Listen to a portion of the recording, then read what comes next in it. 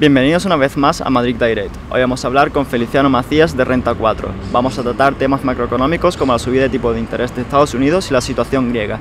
Así también nos dará su visión global del mercado. Tras el acuerdo este alcanzado con Grecia, eh, ¿cómo analizáis desde Renta 4 este acuerdo y si en un futuro va a volver a aparecer los problemas en el país heleno? Nosotros lo valoramos positivamente pues nadie deseaba la salida de, Grecia del euro y el acuerdo este se puede decir que es un acuerdo en toda regla y quizás lo mejor que se podía hacer, no los dos rescates primeros que fueron un poquito más light, este ya es bastante más grande, lo engloba todo y lo valoramos positivamente. Mm, el primer ministro griego Tsipras pues dice que no cree en el, en el rescate, pero que va a hacer todo lo posible para para que el rescate se lleve a cabo y lo valoramos positivamente. Luego ya la cuestión es, como los dos anteriores, ¿qué pasó? Pues que no, no se tomaron las medidas que se le exigían y por eso fracasaron. Este rescate parece que está muy atento a todos los compromisos, si se van cumpliendo, pues un rescate de más de 80.000 millones, muy grande, va a ser muy dificultoso pero vamos a ver si de verdad se hace todo lo que se, han comprometido a las autoridades griegas a hacer. El gran problema que tenemos es una administración y una estructura fiscal pues muy, vamos, deficitaria. Entonces es muy importante que por una vez se hiciera todo lo que se ha acordado para ver si de verdad lo que dijo Cipra, que, que había sido Grecia un laboratorio de Europa. Entonces vamos a ver si, si por una vez se hace mm, todo para saber si es verdad que el rescate funciona o no. Porque lo malo sería un tercer rescate, que el gobierno y la autoridad griega otra vez no hagan nada y, que no supiéramos si es de verdad mm, funciona las medidas que se están que se quieren implantar. Y pasando al tema de España, eh, estas perspectivas de crecimiento que tenemos del 3% eh, que rondan el mercado, eh, ¿crees que se está manifestando en la economía real? Sí, bueno, el Fondo Monetario Internacional pone a la cabeza de la recuperación o del crecimiento, más bien del crecimiento europeo eh, a España. En el caso de España es recuperación. Venimos, pues, como otros países, de un punto más bajo. También normal que crezcamos más. Se está creciendo, se prevé que se crezca un 3,20, esto un 3,2 este año, un 2,6 el año que viene. Yo la verdad un dato que sí veo, pues el tema de los locales. Creemos que la recuperación sí va a llegar porque se ve, como digo, de que mm, hubo un momento, en el peor del momento de la crisis, que, que no había reactivación, no se veía ese dinamismo que se decía antes y, lo, y, estaba la economía como más parada. Ahora sí se ve más, más ebullición, más, el tema de, de, alquiler como digo, locales. Yo veo también un dato muy significativo, el tránsito de, por ejemplo, de camiones. Yo que sí viajo de vez en cuando y antes se veía más difícil, se veía menos movimiento. Y ahora sí se ve, por ejemplo, algunos datos, como digo, aunque sea un poco parece anecdótico, se ve mucho más tráfico de, camiones y al fin y al cabo eso es movimiento de la economía y si también se ha generado un millón de empleos, otra cosa que el empleo no sea de la misma calidad como se dice antes, pero un millón de empleos acaba siendo un millón de empleos y un millón de empleos son pues un millón más de personas trabajando, cobrando un sueldo y consumiendo y eso evidentemente es un síntoma de que, de que está llegando a la economía real. Sí, se nota la verdad.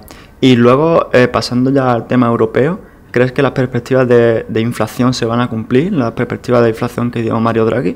El, Banco Central Europeo tiene un mandato de un 2%, de, es un mandato principal, de que la inflación sea de un 2%.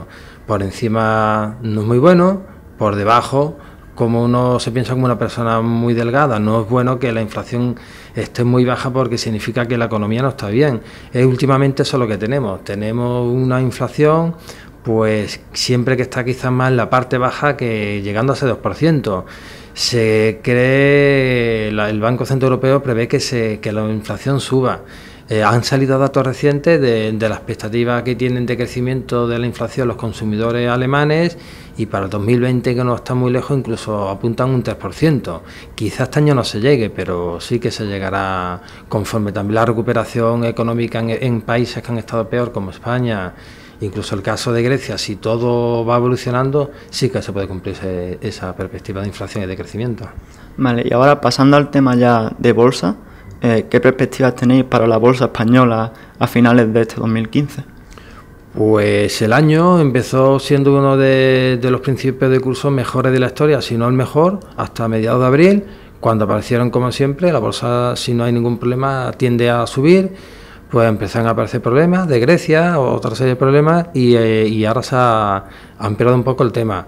Ah, ahora que se ha solucionado algún, algún problema, como ha sido el caso griego, hemos visto que el mercado se ha recuperado en ocho días, eh, entonces ahora estamos en manos de lo de siempre. Aunque haya otras incertidumbres como el tipo de interés de Estados Unidos o la reciente crisis de China, el tema es que si el mercado no tiene problemas, de lo que principalmente son las empresas, depende son de las empresas cotizadas. Y las empresas cotizadas se prevén que, los resultados sean buenos. Recientemente hemos tenido el caso de, Google hace unos días y entonces conforme en todo el verano veamos de que los, los, resultados empresariales acompañan, nosotros creemos que el mercado en el verano se comportará de manera positiva y dependerá de eso, de, exclusivamente de, los resultados empresariales.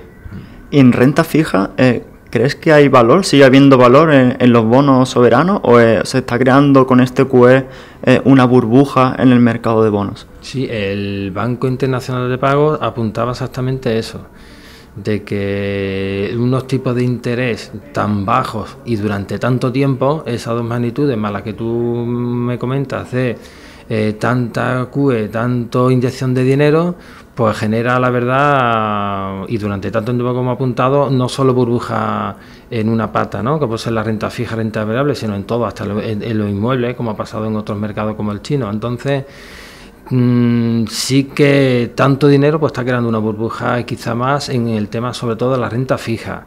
Y hay tres grupos, se puede decir, de, renta fija. Está la renta fija gubernamental, la corporativa y la de alto rendimiento.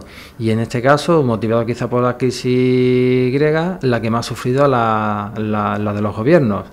Vemos valor, pero sí que habría que tener mucho cuidado porque ciertas burbujas, hay una burbuja ya no solo de precios, sino de liquidez. También el mercado está muy líquido y una vez que haya retirada de, inyecciones de dinero, no solo puede bajar de precio, sino que, el mercado va a tener mucha menos liquidez para, para tanto tránsito de operaciones.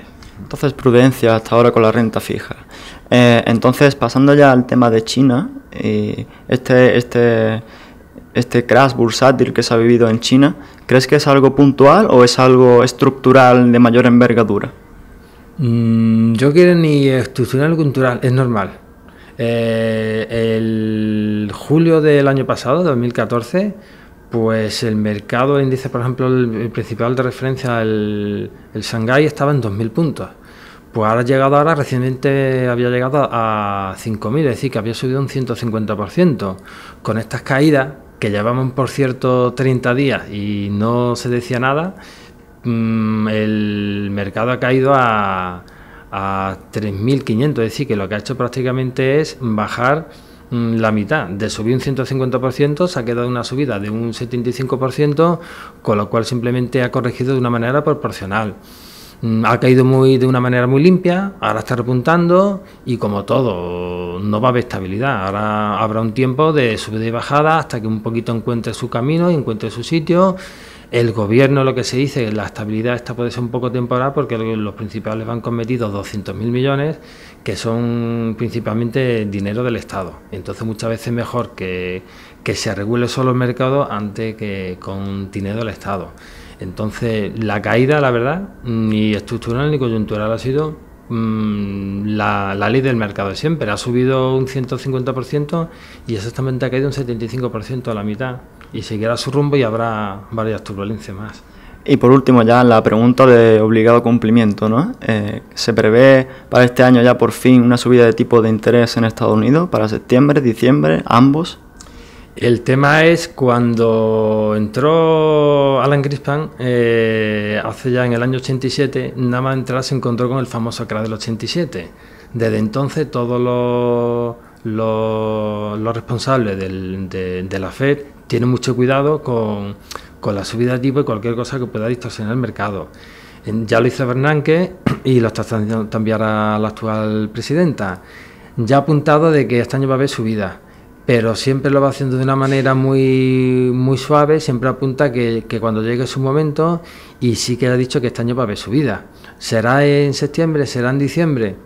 Pues todo depende, como ya ha dicho, de cómo vaya el mercado laboral. Ha, bajado del 10% el paro al 5,3% eh, eh, y va todo muy bien. Y como va todo muy bien, yo creo que en esta ocasión va a ser quizás más pronto que tarde y entonces yo apuntaría quizás que para septiembre.